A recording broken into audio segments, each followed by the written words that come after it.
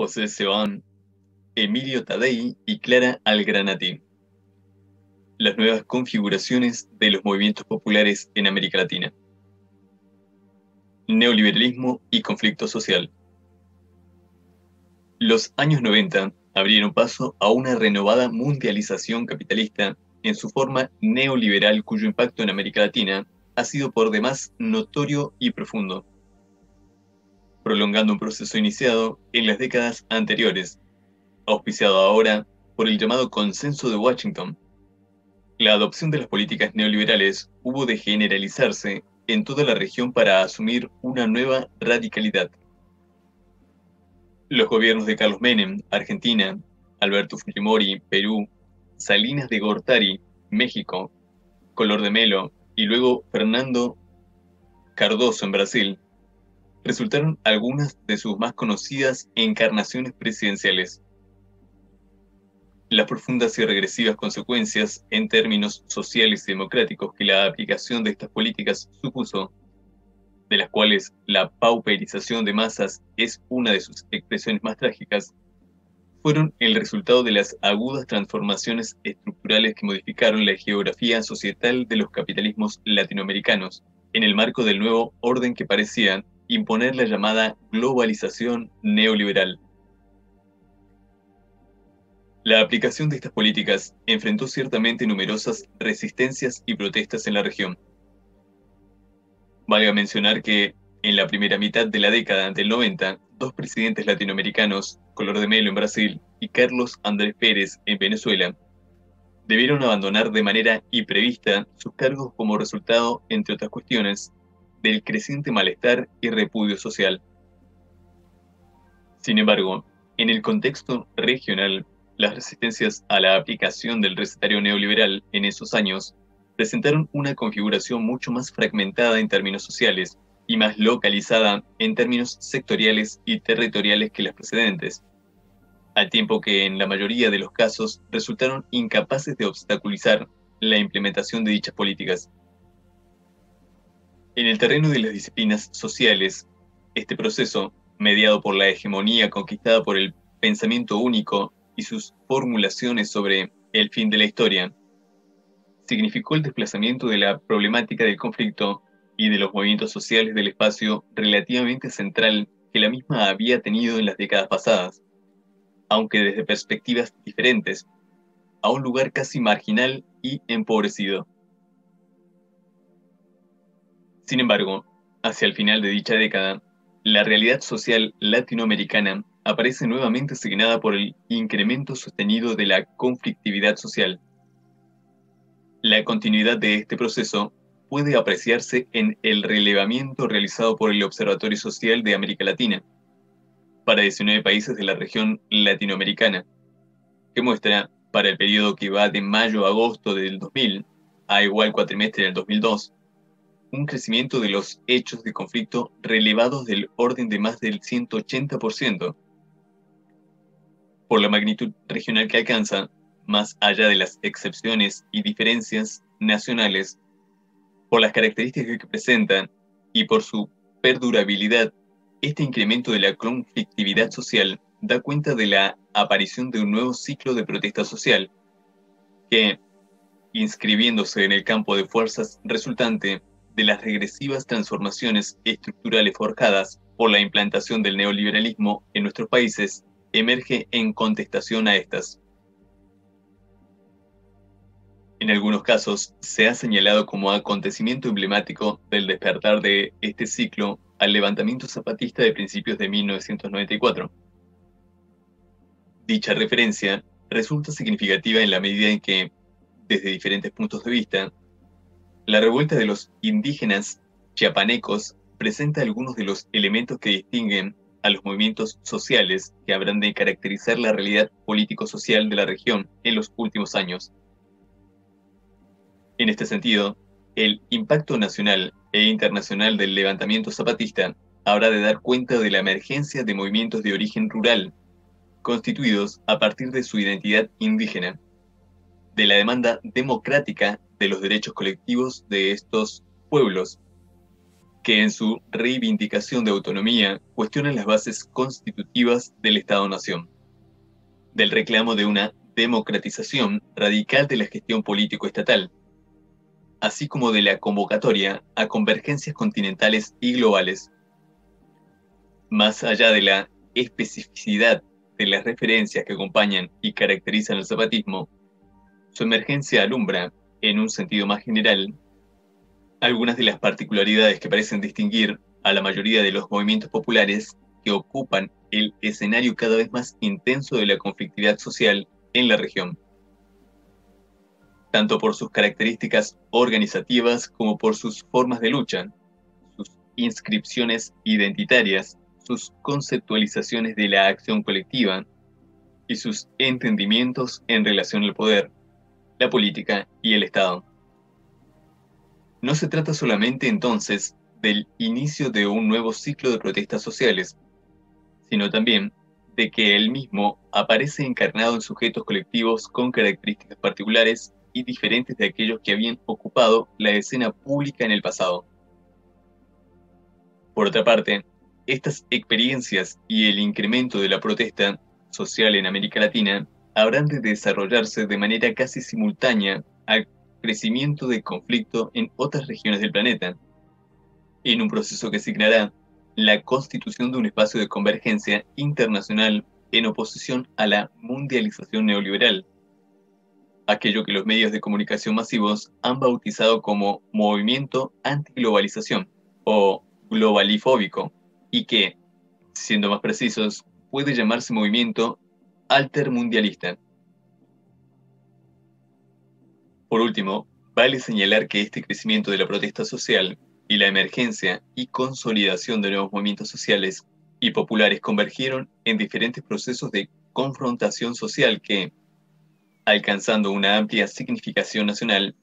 conllevaron en los últimos años, en algunos casos, la caída de gobiernos, la apertura de profundas crisis políticas o el fracaso de iniciativas de carácter neoliberal. En este sentido, la guerra del gas en Bolivia 2003, que culmina con la renuncia del gobierno del presidente Sánchez de Lozada y la apertura de una transición aún en curso, aparece inscripta en este proceso de movilización societal que se inicia con la guerra del agua en Cochabamba 2000 expresándose también en las luchas del movimiento cocalero de la región del Chaparé y del movimiento indígena en el Altiplano. Asimismo, el levantamiento indígena en Ecuador 2000 culmina con la caída del gobierno de Jamil Mahuat, marcará la consolidación de la Confederación de Nacionalidades Indígenas del Ecuador en el escenario de la contestación social a las políticas neoliberales en dicho país. Por otra parte, la emergencia y extensión del movimiento de trabajadores desocupados en Argentina y las protestas de los trabajadores del sector público en la segunda mitad de la década del 90 convergerán con la movilización de amplios sectores urbanos de capas medias para desencadenar la renuncia del gobierno del presidente de la Rúa en los finales de 2001. En el caso de Brasil, vale resaltar la constitución de la Central Unitaria de Trabajadores, y del movimiento de trabajadores rurales sin tierra, que protagonizaron la contestación a las políticas neoliberales y estuvieron en la base del triunfo electoral de la candidatura presidencial de Lula da Silva, 2002. En la misma dirección, las movilizaciones campesinas en Paraguay, que habrían de jugar un rol importante en la caída del presidente Cubas Grau, 1929, se prolongarán en la confrontación con las políticas neoliberales impulsadas por los gobiernos posteriores, así como las intensas protestas sociales en Perú, particularmente la experiencia de los frentes cívicos regionales, que signarán el fin del régimen de Fujimori, 2000. Habrán de continuarse en las resistencias a las políticas privatistas impulsadas por el gobierno del presidente Toledo, 2002-2003 fue precisamente en base a la importancia de estos procesos que, a inicios de 2000, el Consejo Latinoamericano de Ciencias Sociales decidió crear el programa Observatorio Social de América Latina, con el objetivo de promover el seguimiento de la conflictividad social y los estudios sobre los movimientos sociales, así como el intercambio y debate regional sobre estas temáticas. Durante estos más de cuatro años, la labor desarrollada por el OSAL fructificó en la realización de una cronología de los hechos de conflicto social para 19 países del continente, así como en la elaboración de una publicación cuatrimestral que, con la participación de numerosos investigadores latinoamericanos, ha abordado el análisis y la reflexión colectiva alrededor de las principales protestas y movimientos sociales destacados en la escena regional a lo largo de estos últimos años. Las principales conclusiones y señalamientos que se desprenden de esta prolongada tarea alimentan la presente contribución. En este sentido, el objetivo inicial de este artículo consistirá en ofrecer una aproximación a la configuración particular que caracteriza a este ciclo de protestas y a los movimientos populares que lo protagonizan. En la primera parte del mismo, intentamos abordar esta cuestión a partir de una descripción general que presenta la conflictividad social reciente en la región, sus características más sobresalientes y los sujetos que la encarnan, para concluir en el señalamiento de algunos elementos que parecen distinguir la experiencia y acción de los movimientos sociales más destacados. Un análisis más profundo de los mismos alienta el trabajo de la segunda parte del artículo. El escenario contemporáneo de la protesta social en América Latina. Hemos señalado, ya que el nuevo ciclo de protestas que cobra impulso hacia fines de la década del 90 y los movimientos sociales que lo protagonizan presentan características distintivas que los diferencian de aquellos de los años 60 y 70. El primer hecho evidente nos indica que la mayoría de las organizaciones sociales que promueven estas protestas han surgido o sido refundadas en las dos últimas décadas. Pero no se trata solo de una cuestión que remite exclusivamente a la vida o historia organizacional de estos movimientos, sino particularmente a la configuración que estos asumen y que los distingue incluso del mapa de la conflictividad social que caracterizó a los años 80 y principios de los 90. En este sentido, si hasta, por lo menos, fines de la década del 80, el conflicto asalariado keynesiano-fordista, y particularmente el conflicto industrial, constituyó uno de los ejes destacados de la conflictividad social en la región, siendo además la forma de organización sindical el modelo que signó de una u otra manera la nervadura organizativa de la mayoría de los movimientos sociales urbanos y rurales, y que a la vez cumplió un destacado papel en la articulación político-societal de las demandas particulares de los sujetos colectivos, las transformaciones estructurales que el neoliberalismo impuso sobre todos los órdenes de la vida social, y en particular en la economía y el mercado de trabajo bajo los procesos de desindustrialización y financiarización económica, habrán de poner en crisis dicha matriz de la acción colectiva y debilitarán, aunque no habrán de eliminar, el peso de los sindicatos de asalariados como sujetos privilegiados del conflicto. Por contrapartida, resultado del proceso de concentración del ingreso la riqueza y los recursos naturales que signa a las políticas neoliberales, nuevos movimientos sociales de base territorial tanto en el mundo rural como también en el espacio urbano han emergido en el escenario latinoamericano, constituyéndose en algunos casos, por ejemplo, en relación a su identidad étnico-cultural, los movimientos indígenas, o en referencia a su carencia, los llamados movimientos SIN, por ejemplo, los sin tierra, sin techo o sin trabajo, o en relación a su hábitat de vida compartido, por ejemplo, los movimientos de pobladores. Así pues, el modelo de reprimarización económica y la centralidad que en este contexto asumen los procesos de reestructuración agraria tienen como contrapartida la emergencia de destacados movimientos de origen rural, en la misma dirección opera también la privatización y explotación intensiva de los recursos naturales que conmueve y trastoca la vida de numerosas comunidades rurales. Este es sin duda uno de los elementos distintivos de la nueva fase que analizamos y que cristaliza particularmente en el protagonismo de los movimientos indígenas, especialmente en Ecuador, México y Bolivia. Estos movimientos alcanzan una importante influencia a nivel nacional e internacional que trasciende las reivindicaciones sectoriales para llegar a cuestionar tanto la política económica neoliberal y la legitimidad política de los gobiernos que la impulsan, así como la forma constitutiva del Estado-Nación en América Latina. En este sentido, por ejemplo, en el caso ecuatoriano, el movimiento indígena ha pugnado por el reconocimiento de un proyecto político que, reflejado en la reivindicación de un Estado plurinacional, busca garantizar el autogobierno de las diferentes nacionalidades indígenas. Bajo una reivindicación de la autonomía aún más radical, la experiencia del movimiento zapatista reclama el reconocimiento constitucional de los derechos de los pueblos indígenas que, cristalizados parcialmente en los llamados Acuerdos de San Andrés 1995, habrán de inspirar la Caravana por la Dignidad, que recorrerá buena parte de México en los primeros meses de 2001, en reclamo de su cumplimiento. A este breve señalamiento debe sumarse la acción de los movimientos indígenas del antiplano boliviano y también, aunque en menor medida, del lado peruano, así como los llamados movimientos cocaleros protagonizados por los campesinos aymaras del Chaparé y la región de los Yungas en Bolivia y en el sur del Perú, contra la política de erradicación del cultivo de la hoja de coca, que encarna las exigencias del gobierno norteamericano.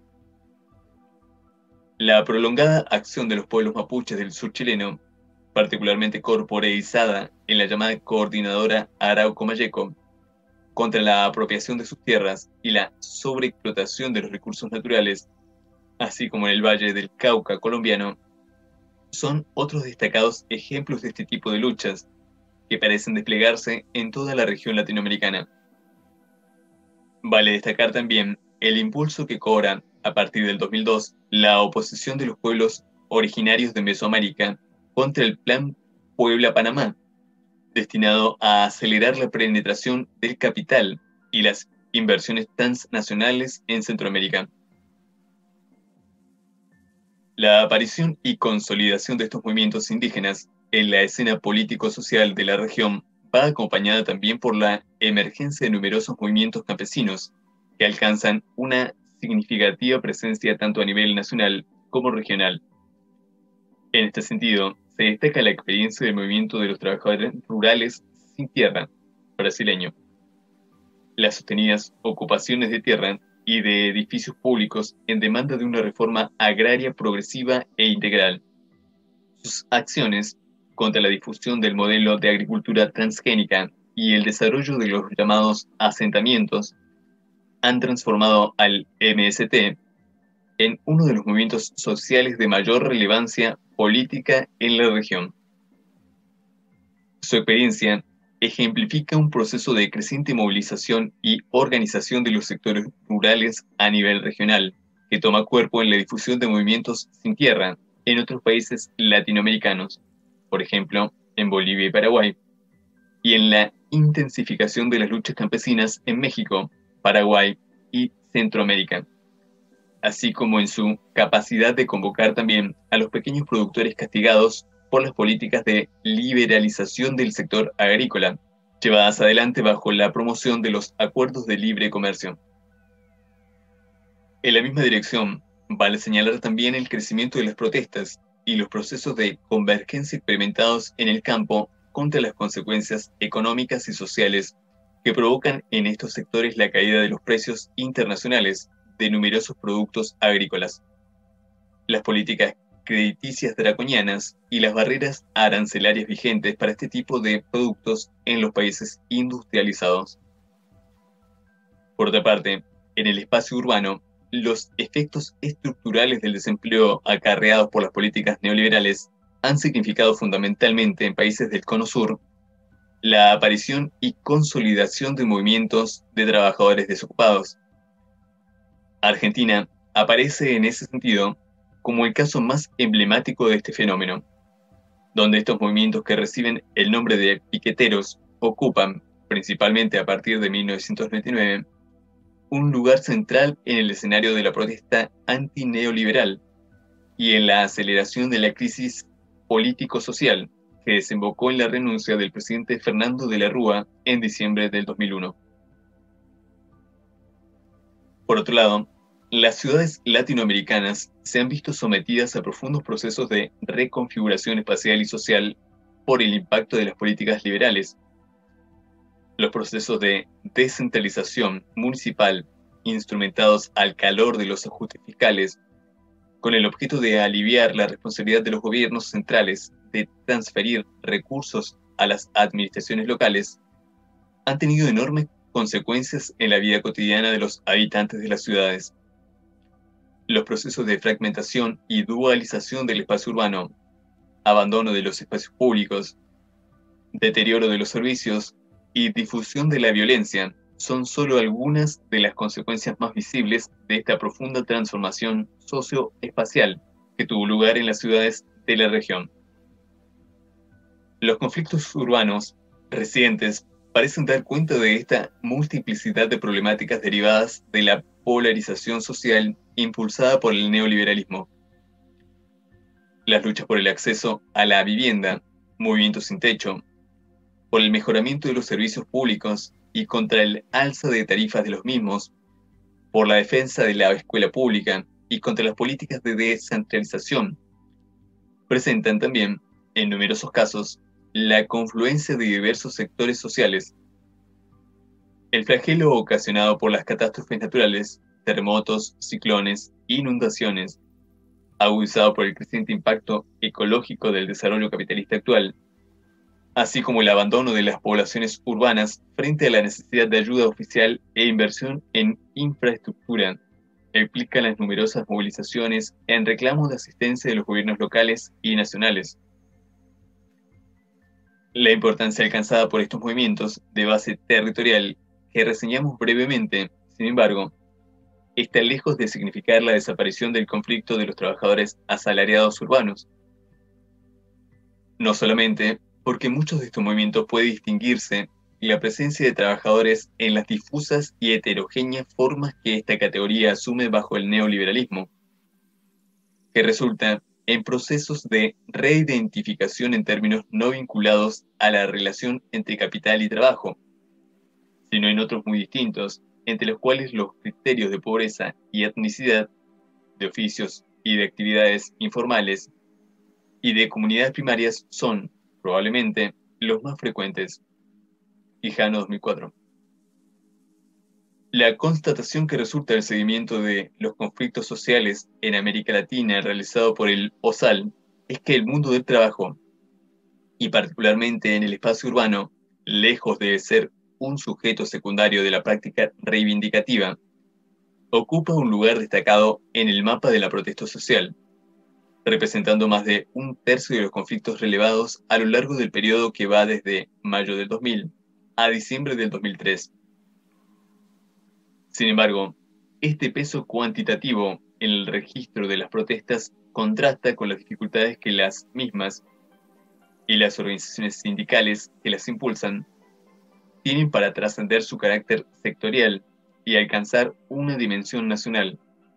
y señala una redefinición en favor de un significativo protagonismo de los trabajadores del sector público, que corporeizan alrededor de tres cuartos del total de estas protestas.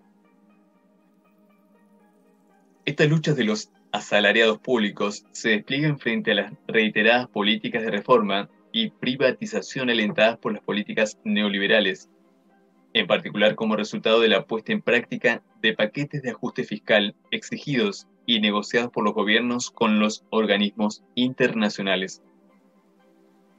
En este sector guarda particular relevancia la dinámica de los maestros y profesores cuyas reivindicaciones refieren fundamentalmente al aumento salarial, el pago de sueldos pendientes, el incremento del presupuesto educativo, el rechazo de las propuestas de reforma educativa, en particular a la flexibilización de las condiciones laborales. En algunos países, las acciones que resultan de la oposición de la privatización de la educación pública permiten la convergencia con sectores estudiantiles en el ámbito universitario, así como con otros sectores, padres de alumnos, por ejemplo, que, apoyando los reclamos docentes y participando en la defensa de la educación pública, parecen señalar la aparición de la forma comunidad educativa en el desarrollo de estos conflictos. OSAL 2003. Cabe señalar también la intensa práctica reivindicativa de los empleados administrativos que se movilizan en contra de despidos, por aumentos salariales o haberes adeudados y contra la reforma del Estado. También en el sector público, vale remarcar los conflictos protagonizados por los trabajadores de la salud en numerosos países por reclamos salariales, por incremento de presupuesto destinado al hospital público y al sistema sanitario en general y por la mejora de las condiciones de trabajo. Es interesante destacar que las formas de protesta en el sector mencionado adoptan recurrentemente la modalidad de paros prolongados, incluso por tiempo indeterminado, y se articulan tanto en la forma de huelgas nacionales y regionales convocadas por las centrales sindicales. En casi todos los países se registran de modo recurrente, como en procesos de movilización callejera. En el mismo sentido, vale también destacar los conflictos contra la privatización de empresas públicas. Pero si la ola privatizadora de primera generación, emprendida a inicios de los 90 por algunos gobiernos de la región, se caracterizó por una resistencia social liderada fundamentalmente por los sindicatos y los trabajadores de los sectores implicados, las luchas contra las privatizaciones de segunda generación aparecen en algunos casos como un momento de agregación social de la protesta que se pone de manifiesto a través de la emergencia de espacios de convergencia político-social de carácter amplio. En el primero de los casos, donde estas protestas quedaron restringidas a los trabajadores y no pudieron conformar frentes sociales más amplios que trascendieran las reivindicaciones particulares,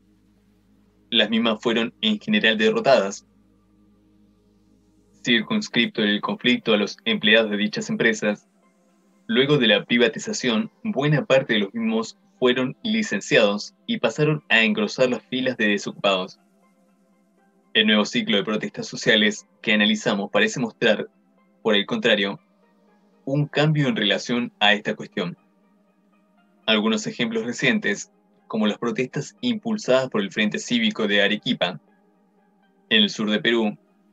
contra la venta de las empresas públicas del servicio eléctrico 2002 y por el Congreso Democrático del Pueblo en Paraguay por la derogación de la ley que habilitaba la privatización de empresas del Estado en 2002. Sirven para ilustrar la amplia convergencia de sectores sociales en coordinadoras contra las privatizaciones, federaciones campesinas, sindicatos, estudiantes, ONGs y partidos políticos, cuyas luchas resultan provisoriamente exitosas y obligan a los gobiernos a dar marcha atrás en sus intenciones privatistas. Este tipo de protestas asumen a menudo una marcada radicalidad en sus formas, levantamientos urbanos, cortes prolongados de ruta, toma y ocupación de instalaciones de las empresas,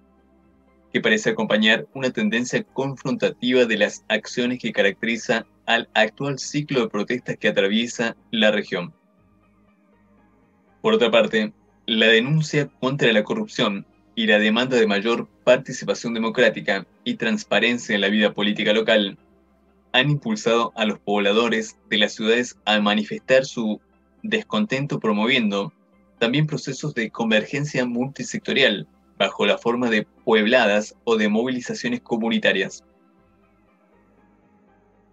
Y en décadas pasadas la participación y movilización juvenil en América Latina se canalizó en gran medida a través de la fuerte presencia del movimiento estudiantil universitario. La protesta de los jóvenes parece adoptar nuevas formas y canales de expresión. El descenso en los niveles de escolarización, resultante de los efectos combinados del proceso de privatización educativa y de la concentración del ingreso y el crecimiento de la pobreza, quizás permite explicar entre otras causas, la pérdida de peso relativo de los movimientos estudiantiles. Si bien los estudiantes constituyen aún un sector dinámico en el escenario de la conflictividad social, inclusive activamente involucrados en protestas multisectoriales que traspasan las reivindicaciones educativas, la expresión del descontento juvenil se canaliza también a través de un activo involucramiento en los movimientos de desocupados, de jóvenes de las favelas en Brasil, en corrientes y colectivos culturales alternativos de diversa índole, en movimientos de derechos humanos, en las protestas indígenas y campesinas y en colectivos sindicales de trabajadores jóvenes precarizados. Las nuevas generaciones juveniles han tenido una activa y destacada participación en las masivas protestas de carácter político que desembocaron en la renuncia de presidentes o que cuestionaron de forma radical la implementación de políticas de ajuste y las privatizaciones, relativizando así las visiones estereotipadas de la realidad que dan cuenta de un marcado desencanto juvenil respecto de la participación política en sentido amplio. En el mismo contexto, es necesario resaltar la importante presencia y protagonismo que ocupan las mujeres en los movimientos sociales reseñados. Las figuras femeninas se destacan también en la constitución de estos movimientos territoriales, apareciendo así reflejadas tanto en el papel destacado que alcanzan las mujeres piqueteras, zapatistas e indígenas, como en la revitalización y reformulación de las corrientes feministas de décadas pasadas que cristalizó, entre otras experiencias, en la llamada Marcha Mundial de las Mujeres y en la referencia a la feminización de la pobreza. Por último, en el escenario actual de la protesta social latinoamericana, guardan particular relevancia los procesos de convergencia regional e internacional que han cobrado gran impulso en los últimos años y constituyen, por su amplitud e inserción geográfica y su nivel de convocatoria en términos de movimientos y colectivos sociales, una experiencia sin precedentes en el continente. En el pasado, las experiencias de coordinación internacional de movimientos sociales tuvieron sus expresiones más destacadas en el ámbito de las organizaciones sindicales, o de sectores estudiantiles universitarios. Estas convergencias estaban fundamentalmente centradas en la defensa de intereses sectoriales y o profesionales, hecho que suponía grandes dificultades para trascender el ámbito reivindicativo específico. El impacto y consecuencias de la globalización neoliberal y, consecuentemente, la erupción en los escenarios políticos nacionales de procesos de magnitud continental, entre otros, por ejemplo, los llamados acuerdos de libre comercio, ligados en muchos casos a la penetración del capital transnacional, particularmente estadounidense, han resultado en la aparición y afirmación de experiencias de coordinación hemisférica en que confluyen movimientos sindicales, de mujeres, estudiantiles, ONGs, partidos políticos, colectivos antimilitaristas y agrupaciones de defensa del medio ambiente, en los que guardan un papel decisivo las organizaciones campesinas, particularmente a través de la Coordinadora Latinoamericana de Organizaciones del Campo, CLOC, y su articulación internacional Vía Campesina. La campaña continental contra el área de libre comercio de las Américas promovida por la Alianza Social Continental y otras redes colectivos, así como la arena global, la constitución de la Red Internacional de los Movimientos Sociales, constituye quizás el ejemplo más destacado, al que se agrega la innumerable cantidad de encuentros regionales y continentales que incluyen también a movimientos de América del Norte, contra el Plan Puebla-Panamá y la militarización regional e intervención extranjera, particularmente en referencia a los llamados Plan Colombia e Iniciativa Andina, entre otras cuestiones. En este proceso, la constitución del Foro Social Mundial aparece como la experiencia más destacada de estas convergencias, no solo a nivel internacional, sino también continental y regional. La nueva configuración de los movimientos populares. En este panorama, que hemos reseñado brevemente en relación con las características que presenta la conflictividad social en América Latina en los últimos años, aparecen ya resaltadas algunas de las particularidades que distinguen la acción y conformación de los movimientos sociales y populares contemporáneos en nuestra región. El análisis de estas experiencias y, particularmente, el entendimiento y conceptualización de las novedades que dichos movimientos plantean en el decurso histórico de la acción colectiva y la contestación social constituyen uno de los centros de atención de la elaboración y revitalización del pensamiento social latinoamericano actual. La renovada generación de estudios y publicaciones sobre estas temáticas ha supuesto también la constitución de un nuevo campo de problemáticas, así como un enriquecimiento de los marcos teóricos y metodológicos relacionados con el estudio de los movimientos sociales. Una de las manifestaciones de estas elaboraciones y de los debates planteados es, por ejemplo, el lugar que al interior del pensamiento crítico ha ocupado recientemente la discusión sobre la conceptualización del poder y el papel que le cabe al Estado-Nación en referencia a las visiones de la emancipación social promovidas por dichos movimientos. No es, sin embargo, nuestra intención presentar los ejes problemáticos alrededor de los cuales se orientan los debates y las reflexiones de los cientistas sociales y de los propios movimientos. En esta oportunidad nos interesa remarcar y profundizar algunas de las características que distinguen la configuración de los movimientos sociales en la actualidad. En relación con ello, y respecto de los repertorios de la protesta, es importante destacar una tendencia a una mayor radicalidad en las formas de lucha, que se pone de manifiesto en la duración temporal de las acciones de protesta, acciones prolongadas o por tiempo indeterminado,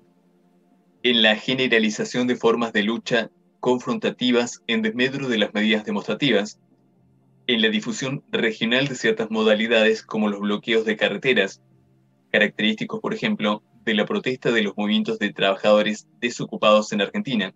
como de los movimientos indígenas y cocaleros del área andina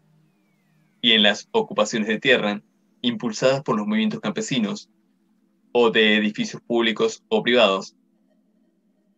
Por otra parte, la recurrencia de largas marchas y manifestaciones que atraviesan durante días y semanas los espacios regionales y nacionales parecen querer contrarrestar la dinámica de segmentación territorial promovida por el neoliberalismo. Asimismo, las puebladas y levantamientos urbanos aparecen como estrategias tendientes a la reapropiación colectiva del espacio comunitario y a la recuperación de una visibilidad social denegada por los mecanismos de poder. En relación con los sujetos sociales que parecen protagonizar este nuevo ciclo de protestas que intentamos analizar, cabe resaltar dos características que ya señalamos precedentemente. La primera es el desplazamiento del conflicto asalariado al sector público, en desmedro del impacto de importancia que guardan los impulsados por los trabajadores del sector privado. Este hecho implica, a su vez, una configuración particular que atraviesa la acción de las organizaciones sindicales, en tanto la dinámica reivindicativa del sector público convoca a la participación y convergencia de otros sectores sociales en la defensa del acceso y calidad de la educación y la salud en tanto derechos ciudadanos. En ese sentido, es importante marcar que, en muchos casos, las luchas contra estas políticas de desmantelamiento y privatización y el impulso de los procesos de convergencia que adoptan las formas de coordinadoras y frentes cívicos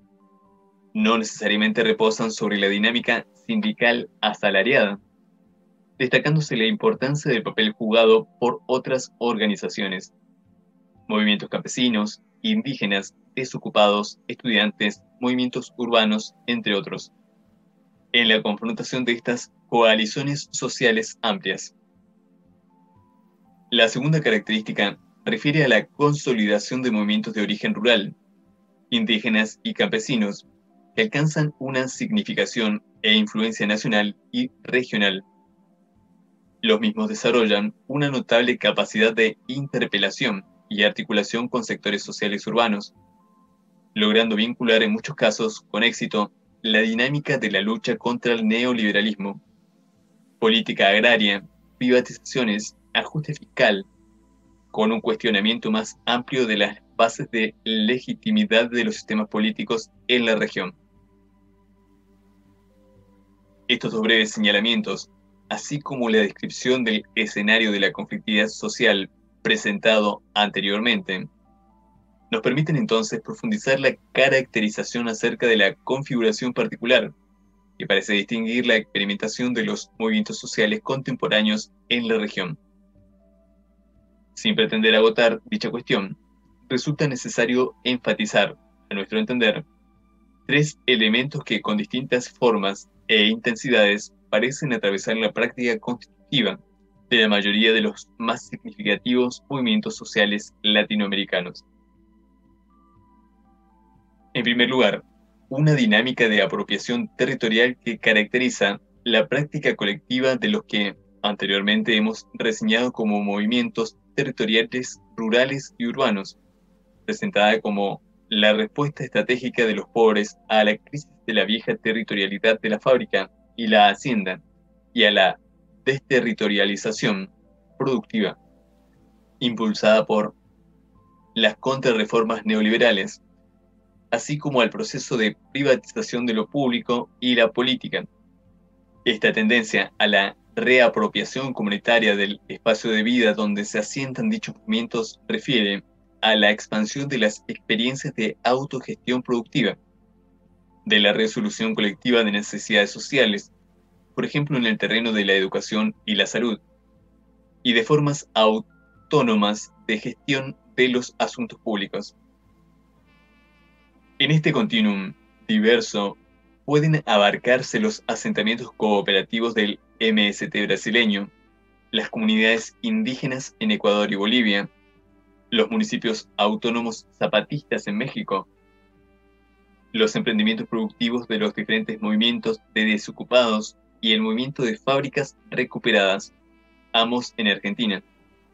así como las puebladas y levantamientos urbanos que implicaron la emergencia de prácticas de gestión del espacio público.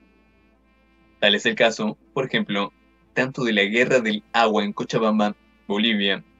como de la experiencia de las asambleas populares surgidas en los principales centros urbanos de Argentina,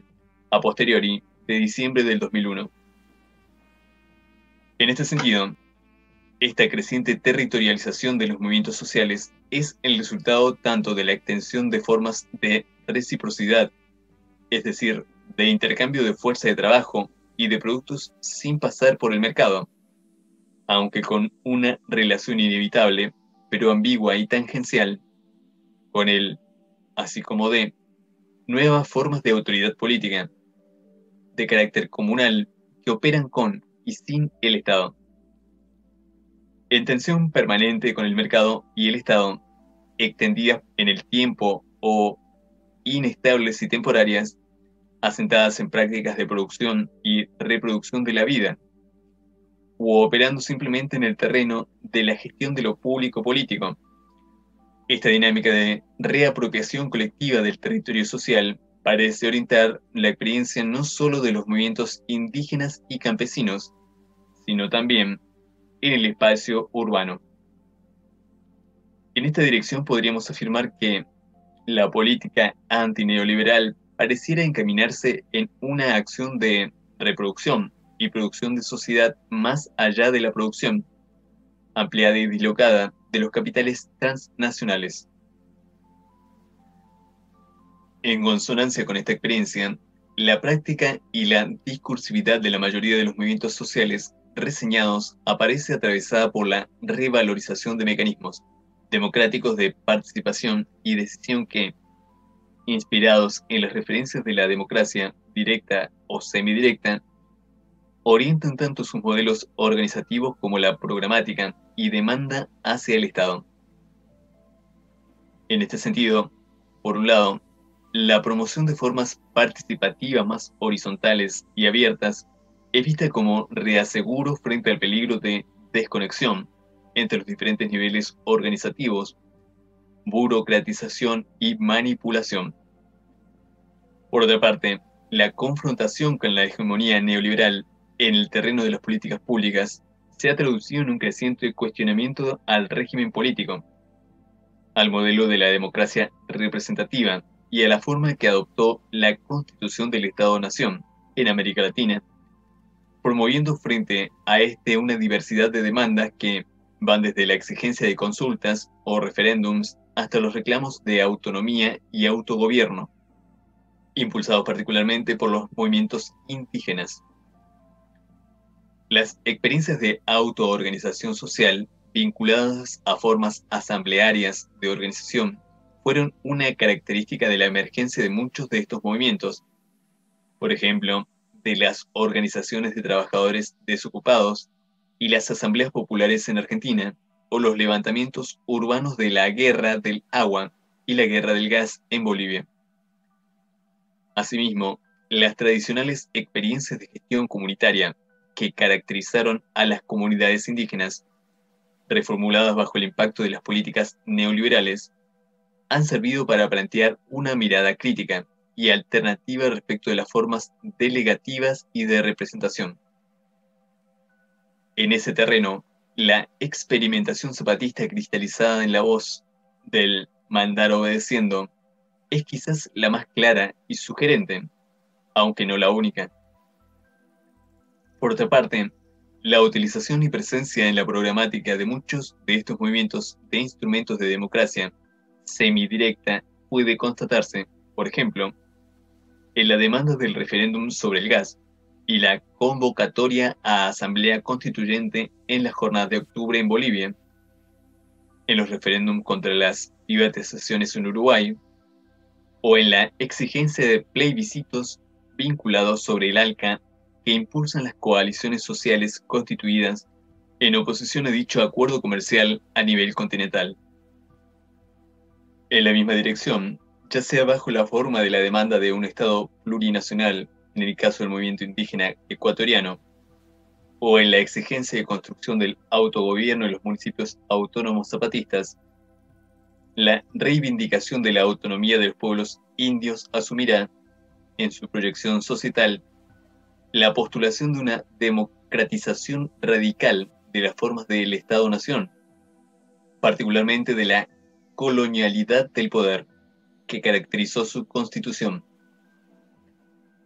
Por último, el acceso a gobiernos locales de representantes de dichos movimientos, especialmente la experiencia de las sierras ecuatorianas y el Valle del Cauca en Colombia, ha supuesto la puesta en marcha de mecanismos de participación y control popular en la gestión de los mismos. En la diversidad de las experiencias descritas anteriormente puede así señalarse la emergencia de una tendencia democratizadora que atraviesa la práctica colectiva de los movimientos sociales, tanto en sus espacios de autonomía como en el terreno del Estado, y expresa la medida en que la democracia participativa ha asumido una nueva dinámica protagonizada por comunidades y grupos sociales subalternos en lucha contra la exclusión social y la trivialización de la ciudadanía. Por último, vale señalar que, desde las protestas contra el Acuerdo Multilateral de Inversiones, la batalla de Seattle, que frustró la bautizada Ronda del Milenio de la Organización Mundial del Comercio en 1999, la creación y profundización de la experiencia del Foro Social Mundial y las jornadas globales contra la intervención militar en Irak 2003-2004, la nervadura de un nuevo internacionalismo ha teñido de manera profunda y singular la experimentación de los movimientos sociales en la arena mundial. El carácter eminentemente social de los actores involucrados, aunque no desligado, por si hiciera falta la aclaración de inscripciones ideológico-políticas, su heterogeneidad y amplitud, la extensión verdaderamente internacional de las convergencias, las formas organizativas y las características que asumen estas articulaciones señalan la novedad de este internacionalismo. Como lo hemos reseñado ya, la región latinoamericana no ha sido ajena a este proceso. Por el contrario, la realización en 1996 del primer encuentro por la humanidad y contra el neoliberalismo organizado por el zapatismo en las profundidades de la selva chiapaneca, que puede ser considerada como una de las primeras convocatorias internacionales que se encuentran en el origen de este proceso, así como el hecho de que el nacimiento del FSM alumbrara en la ciudad brasileña de Porto Alegre, señalan la profunda imbricación entre el crecimiento de la protesta y los movimientos sociales en América Latina, y la emergencia de las convergencias globales contra la mundialización neoliberal. En esta región, a lo largo de los últimos años, estas experiencias han estado asignadas particularmente por la evolución de los llamados acuerdos sobre liberalización comercial, y especialmente de la iniciativa norteamericana de subsumir a los países de la región bajo un área de libre comercio de las Américas. Estos procesos de resistencia, que supusieron tanto la constitución de espacios de coordinación a nivel regional, que agrupan a un amplio arco de movimientos, organizaciones sociales y ONGs, como el surgimiento de similares experiencias de convergencia a nivel nacional, por ejemplo las campañas nacionales contra el ALCA, resultan en el marco continental y junto a la experiencia de los foros sociales y las movilizaciones contra la guerra, expresión y prolongación del movimiento altermundialista que emergió y se consolidó en la última década. En relación con este proceso de convergencias contra el libre comercio, la experiencia regional se remonta a las protestas que despertó la negociación y puesta en marcha en 1994 del Tratado de Libre Comercio de América del Norte, el NAFTA, por sus siglas en inglés, la creación de la Alianza Social Continental en 1997, la organización de la primera cumbre de los pueblos de las Américas en 1998, en oposición a la segunda cumbre de presidentes de los 34 países americanos que participan de la negociación del ALCA, y la organización de los encuentros hemisféricos contra el ALCA, La Habana, Cuba, 2002-2004. Sin embargo, particularmente en relación con la dinámica y características que asumen estas negociaciones a partir del 2003, signadas por la proximidad de la fecha prevista para su finalización en 2005, las dificultades y resistencias que enfrentan y la aceleración de los tratados de libre comercio plurilaterales, estos procesos de convergencia y protesta se intensifican a nivel regional.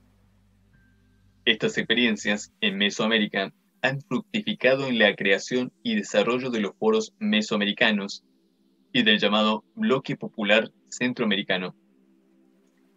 En el caso de los países que integran el Mercosur, las llamadas campañas nacionales contra el ALCA han impulsado diferentes y masivas consultas populares y han evolucionado hacia el creciente cuestionamiento del libre comercio de cara a las diferentes negociaciones comerciales que encaran los gobiernos. Finalmente, en el área andina, la articulación entre el rechazo a estos tratados con masivas protestas en los espacios nacionales, por ejemplo, la guerra del gas en Bolivia 2003, y la emergencia de procesos de coordinación regional, por ejemplo, en abril de 2004, se realiza la primera jornada andina de movilización contra el ALCA. Señalan la riqueza de estos procesos. En esta dirección, la próxima realización del primer Foro Social de las Américas en Ecuador, julio 2004, habrá de constituirse en un punto de llegada de estas experiencias, así como en un acontecimiento que dará cuenta de la madurez, profundidad, características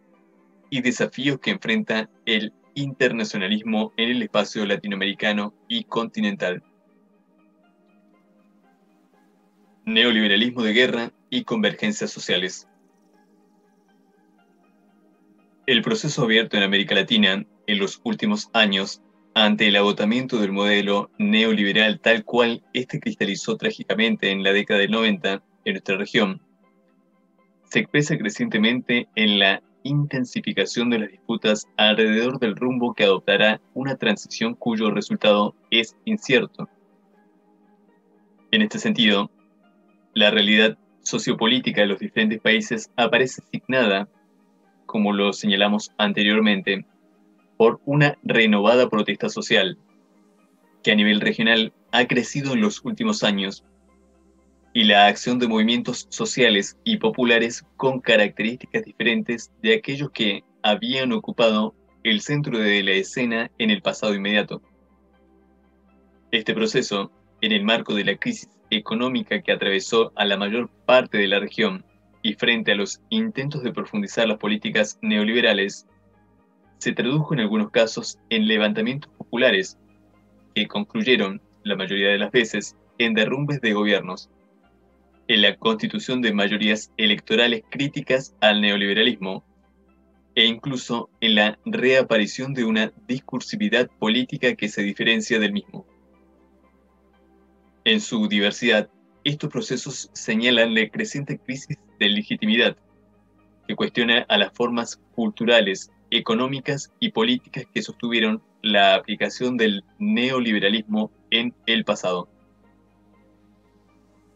Sin embargo, de cara a este proceso, los intentos de profundizar las políticas neoliberales han tendido a la creciente militarización de las relaciones sociales en un proceso que ha sido bautizado como neoliberalismo de guerra. El mismo no refiere solamente a la política de guerra y de intervención militar esgrimida como prerrogativa internacional por el presidente Bush, particularmente a posteriori de los atentados del 11 de septiembre del 2001, sino también a la profundización de un diagrama social represivo que abarca reformas legales que cercenan derechos y libertades democráticas y otorgan mayor poder e inmunidad al accionar de las fuerzas policiales. La criminalización de la pobreza y de los movimientos sociales, la llamada judicialización de la protesta, el crecimiento de la represión estatal y paraestatal y la creciente intervención de las Fuerzas Armadas en los conflictos sociales internos justificada bajo el pretendido combate al narcotráfico, el terrorismo o la delincuencia. La ideología de la seguridad pretende así la reconstitución de la cuestionada gobernabilidad neoliberal. Una de sus expresiones más trágicas ha sido el incremento de la presencia militar norteamericana a lo largo de toda la región latinoamericana. Asimismo, en el terreno de las políticas domésticas, el caso colombiano resulta uno de los laboratorios principales de la implantación de estos diagramas represivos, particularmente bajo la gestión del presidente Álvaro Uribe, que abre un proceso que no solo persigue profundizar el enfrentamiento militar con la guerrilla, luego de la ruptura de los acuerdos de paz del periodo anterior, sino también desplegar una política de militarización social en la tentativa de afirmar una legitimidad autoritaria, particularmente en los sectores urbanos de clases medias. La faz del neoliberalismo de guerra acompaña así la promoción de una reconfiguración radical y aún más regresiva de la geografía política, social y económica de la región como resultado de la aceleración de los llamados tratados de libre comercio, que tienen en el ALCA su máxima expresión. Hemos intentado dar cuenta hasta aquí de los rumbos por los que transitan y las características que adopta el proceso de disputa social y política abierto con la crisis del modelo neoliberal forjado en la década del 90 y de las características que parecen asignar la configuración de los movimientos sociales contemporáneos. Como hemos señalado, este proceso no resulta homogéneo y se expresa diferenciadamente en cada una de las regiones en las que puede subdividirse el continente e incluso al interior de las mismas. En este sentido, la evolución de la región norte, Mesoamérica y el Caribe parece evidenciar una notoria consolidación de los procesos de liberalización comercial que constituyen la piedra angular de los planes estratégicos de Washington. Por otra parte, la convulsionada situación política en gran parte de la región andina es una manifestación de las fuertes tensiones sociales resultantes de los intentos de profundizar estos nuevos recetarios neoliberales que se traducen en la dificultad de estabilización de los regímenes políticos que impulsan estas políticas. Son expresiones de ello el creciente descrédito popular de los gobiernos de Perú y Ecuador, el escenario abierto con el octubre boliviano, que proyecta en el horizonte nuevas confrontaciones y posibles cambios, así como el caso venezolano, donde la batalla en torno al referéndum revocatorio presidencial para el próximo agosto cobrará sin lugar a dudas una dimensión regional. El desenlace de este proceso será fundamental en América Latina frente a las aspiraciones hegemónicas de la Casa Blanca de impedir la consolidación de procesos políticos democráticos populares que cuestionen el modelo neoliberal. En la región sur, los movimientos sociales enfrentan el gran desafío de aprovechar los intersticios abiertos con la pérdida de legitimidad del neoliberalismo para disputar el rumbo de los procesos en curso, manteniendo y profundizando su autonomía en relación con los gobiernos. Más allá de las particularidades que presentan los procesos a nivel subregional, la generalización del libre comercio aparece en todos los países, con excepción del caso venezolano, como un eje privilegiado por las élites políticas y económicas para refundar el orden neoliberal y su legitimidad. Frente a ello, los procesos de convergencia regional que a escala nacional impugnan el modelo económico hegemónico y los horizontes emancipatorios que se desprenden de las prácticas y discursos que caracterizan a los movimientos sociales en los principios del siglo XXI, alumbran los contornos de esa otra América es posible que tanto reclaman nuestros pueblos